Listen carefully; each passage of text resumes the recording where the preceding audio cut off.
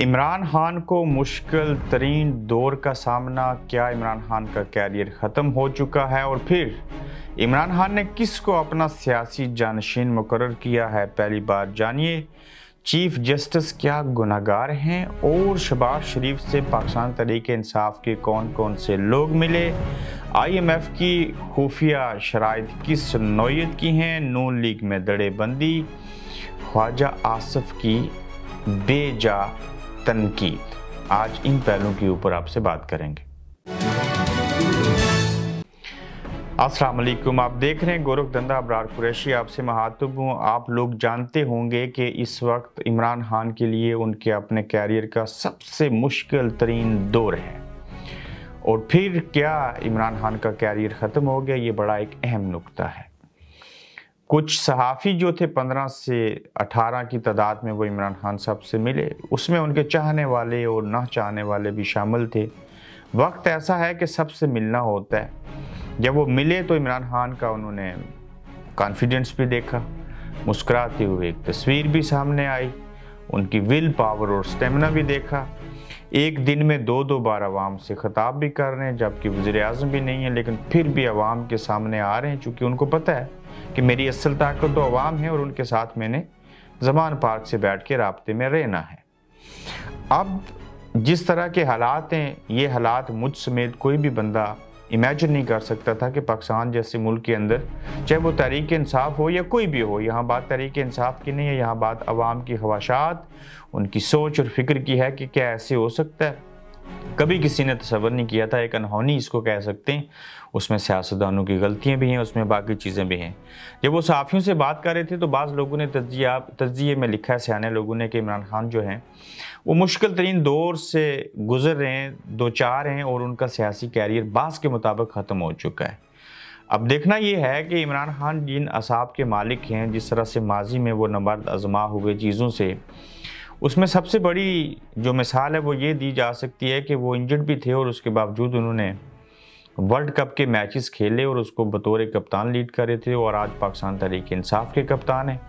तो उस वक्त भी कहा जा रहा था कि अल्लाह करे बारिश हो जाए, फ़लाँ चीज़, फ़लाँ टीम फ़लाँ टीम से जीत जाए, फिर हमें ये मिल जाएगा, फ़लाँ चीज़ होगी। तो तब भी एक मुआवजा हुआ था और इनकी मेहनत थी और ये हिम्मत नहीं आ रहे थे और जिस टीम के बारे में कहा जाता था, ये तो कोई मैच भी नहीं जीत सके कि वो टीम जो थी वो वर्ल्ड कप जीत के वापस ले आई। कुछ मुआवजे हुए, कुछ हिम्मत ना आ रही और विल पावर थी वो सारा कुछ था। एक तजाद ज़रूर था कि आईसीसी से जीतने वाले वर्ल्ड कप में 1992 में ऐसे हालात भी नहीं थे और वहाँ इस्टेब्लिशमेंट भी नहीं थी। वहाँ आईसीसी था, यहाँ इस्टेब्लिशमेंट है। वो क्रिकेट था, उसको खेल कहते हैं, ये सियासत है, ये सियासी खेल है। तो दोनों चीज़ें मुतजाद हैं, यानी कि इनके अंदर एक बड़ा तजाद है। अब देखना ये होगा कि फिर इमरान खान ने जब रिटायरमेंट ली तो उसके बाद शोकत खाना बनाना शुरू किया, मशतों में गए, दस रुपये से लेके गलियों से गुजर के नुसरत फ़तेह अली को साथ रखा, पूरी दुनिया में घूमे आता साहेलवी को साथ रखा, उनको भी बड़ा आदमी बना दिया। इवेंट्स करवाए, पैसे जमा किए, लोगों ने कहा, अस्पताल नहीं बनेगा, बन गया। फिर लोगों ने कहा, ये नाकाम सियासतदान है, सियासतदान भी बना और फिर वजी अजम भी बन गया। और बेशुमार चीज़ें हुई सीरत तो नबी कॉन्फ्रेंस करवा दी, एक बार नहीं, दो बार करवा दी, भट्टो साहब ने करवाई दी, मार दिया था। कौन होती है लोगों को जमा करने वाले? सबसे अच्छा मुझे उनका इकदाम ये लगा कि उन्होंने लोगों को शेल्टर छोटे घर फराम किए जो घरों में नहीं रह सकते। उससे बड़ी चीज़ ये हुई कि गरीबों के लिए दस लाख रुपए जो थे वो इलाज मालजा के लिए रखे, जो कि ये बरतानिया जैसा मुल्क नहीं कर सकता। हम करते हैं। यहाँ फ्री इलाज है, लेकिन उसकी कुछ कंडीशन है और टैक्स देने के बाद है। वहाँ टैक्स भी नहीं देते और आम आदमी के लिए ये सारी चीज़ें थी। फिर ये था कि उनको खाना दे दिया जाए एक वक्त का, ये भी बड़ी चीज़ें थी। तो इमरान खान ने हमेशा उस चैलेंज को कबूल किया, उस चैलेंज से जो है वो कामयाब हुए, जो भी उनको मिला और इसकी वजह क्या होती है, अच्छी नीयत बेलोस काम करना, अपनी ज़ात को माइनस करना और दूसरों के लिए करना और सबसे बड़ी कि विल पावर और स्टेमिना होना चाहिए। एक स्पोर्ट्समैन जो है वो इतनी जल्दी हार नहीं मानता। तो ये बात गलत है। कि इमरान खान का कैरियर ख़त्म हो चुका है। हाँ उनकी ज़िंदगी में ये सबसे बड़ा मुश्किल तरीन दौर है, जो उन्होंने इससे पहले नहीं देखा। और ये अदबार जुल्फ़ार अली भट्टो पे आए, बेनज़ीर भट्टो पे आए, नवाज़ शरीफ साहब के ऊपर कई मरतबा आए। दो बार आए 1999 में और 18 में भी। तो फ़र्क ये है कि ये जितनी तेज़ी से लोग तहरीक इंसाफ में आए थे, उतनी ही तेज़ी के साथ वहाँ से चले गए। अब तरीके इंसाफ के बारे में ये भी कहा जा रहा है कि जो लोग छोड़ के जा रहे हैं, ये तरीके इंसाफ के मुँह के ऊपर तमाचा है अच्छा क्यों जी? ये बहुत बड़ा तमाचा है। कैसे? ये लोग छोड़ के जा रहे हैं। क्यों छोड़ के जा रहे हैं? जी, कोई नई बात तो है नहीं है। ता हम दो लोगों की बात अच्छी लगी और खासकर पीपल्स पार्टी की उसमें खुर्शीद शाह साहब और कमर जमान कायरा कहते हैं कि ये जो कुछ हो रहा है, ये जमहूरी अदवार में और दौर में ऐसे नहीं होता। किसी सियासी जमात के ऊपर पाबंदी नहीं लगनी चाहिए और मुख्तलिफ़ अपने बयान के अंदर उन्होंने इस बात का, इस ख्वाहिश का, अपनी सोच का इजहार किया है कि पाबंदी किसी पर नहीं लगनी चाहिए और ऐसे भी किसी को कुचलना नहीं चाहिए। ये गलत बात है। ये इंसानी हकूक़ और सियासतदानों के साथ ही जो चीज़ें होती हैं, खिलवाड़, ये नहीं होने चाहिए। फिर देखिए कि नून लीग तकसीम दड़ेबंदी का शिकार है। कैसे दड़ेबंदी का शिकार है जी के तीन तबकात बन गए एक मरियम और नवाज़ शरीफ और दूसरे शबाज शरीफ और इसाक डार, और फिर इसमें और भी हैं। कुछ तो मुफ्ता साहब थे, बाकी लोग छोड़ गए। अब इनमें एक कहता है कि मुजाकर नहीं होने चाहिए, दूसरा कहता है मुजाकर होने चाहिए, सारी चीज़ें की जानी चाहिए ताकि चीज़ें जो हैं वो आगे बढ़ सकें और इतनी नफरत नहीं होनी चाहिए। तो इस तरह से नून लीग के अंदर दो तीन किस्म की दड़ेबंदी है। जिनके अपने मफादात हैं, कुछ इज्तमाही तौर के ऊपर सोचते हैं।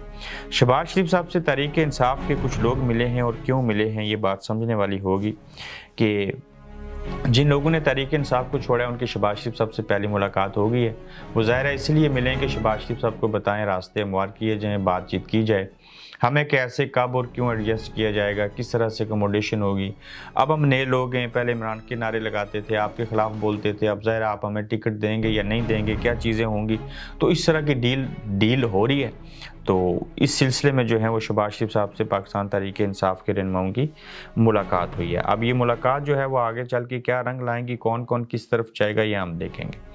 फिर आप देखिए कि तरीके इंसाफ का जानशीन किस को मुकर किया इमरान खान ने सियासी जानशीन। आप कोई और कबीला होता तो वो इंतज़ार करता, अपने बेटे को कर देता, इवन मुराद सईद को कर देता, अली अमीन, मोहम्मद अली खान को कर देता, वो ज़ाहिर ज़ेर हिरासत हैं बाकी चीज़ें हैं। इमरान खान साहब ने अपना सियासी जानशीन दो अफराद को मुकर किया। अगर मैं ना रहा, अगर मैं गिरफ़्तार हो गया या मुझे कुछ हुआ तो ऐसी सूरत हाल के नतीजे में शाह महमूद कुरैशी और परवेज़ खटक जो हैं वो पाकिस्तान तरीक इंसाफ को चलाएँगे। मैं फिर से कहता हूँ कि इमरान खान ने अपने सियासी जानशीन जिनको मुकर किया, उसमें पहला नाम शाह महमूद कुरैशी, दूसरा नाम परवेज़ खटक साहब का है, वो पाकिस्तान तरीके इंसाफ को लीड करेंगे, ये इमरान खान ने कह दिया और उन्होंने इस तरह से सियासी जानशीन मुकर कर दिए उनसे पूछा गया कि मुराद सईद और बाकी लोग क्यों नहीं, यंग लैड ने सारा कुछ है? उन्होंने कहा, मुराद सईद जो है, एक अच्छा वर्कर है, सारी चीज़ें हैं, लेकिन अभी इन लोगों की मौजूदगी में मुराद सईद जो हैं, वो पार्टी को नहीं चला सकती और ना ही उनको चलाना चाहिए। तो इस तरह के हालात और इमरान खान ने इन दो लोगों को ज़िम्मेदारी दी। जब ऐसे हुआ तो फिर देखिए कि ख्वाजा आसफ साहब ने तनकीद की। कहते हैं, ये जो इमरान खान ने दो लोगों को अपना सियासी जनशीन मुकर किया है, अगर ये भी गिरफ़्तार हो गए तो फिर इनकी पार्टी का क्या होगा? ख्वाजा आसफ से कोई पूछे, आप मामे लगते हो? तरीके इंसाफ में फ़लाँ चीज़ होगी तो उनका क्या होगा? आप अपनी फ़िक्र करो। आप वही हैं जो फौज को कहते थे, कोई जंग आपने नहीं जीती, आप हमेशा नाकाम हुए।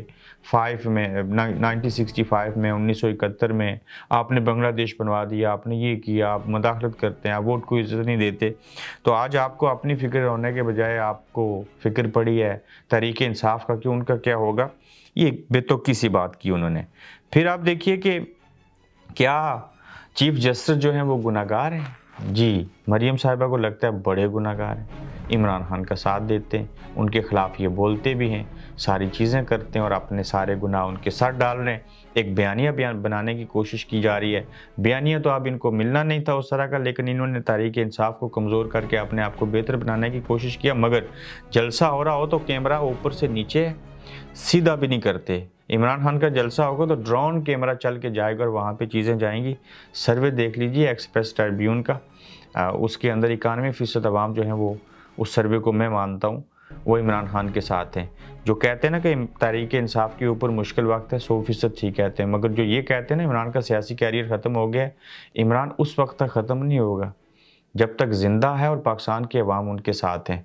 उसकी वजह बता देता हूँ हमारे एक नुमाइंदे ने असीब ने इस्लामाबाद में एक वीडियो शूट करने की कोशिश की कि ये लिखा है गद्दार मिलत और इमरान खान का पोस्टर था जो सड़कों पे लगा है। तो उसने जब पंजाबी लोगों से पूछना शुरू किया तो ऑफ़ कैमरा ये कहते हैं इमरान खान अच्छा बंदा है अच्छा लीडर है और ये गलत है उसके खिलाफ। जो ही कैमरा ऑन होता है, उसके ऊपर आके कहना शुरू कर देते हैं कि नवाज़ शरीफ साहब अच्छे हैं पीडीएम अच्छी है। या तो बात करते ही नहीं। तो फिर जब पठानों से पूछा, उन्होंने कहा, अगर ये गद्दार है तो हम भी गद्दार हैं। वो जो आता है मुँह में, वो कह देते हैं।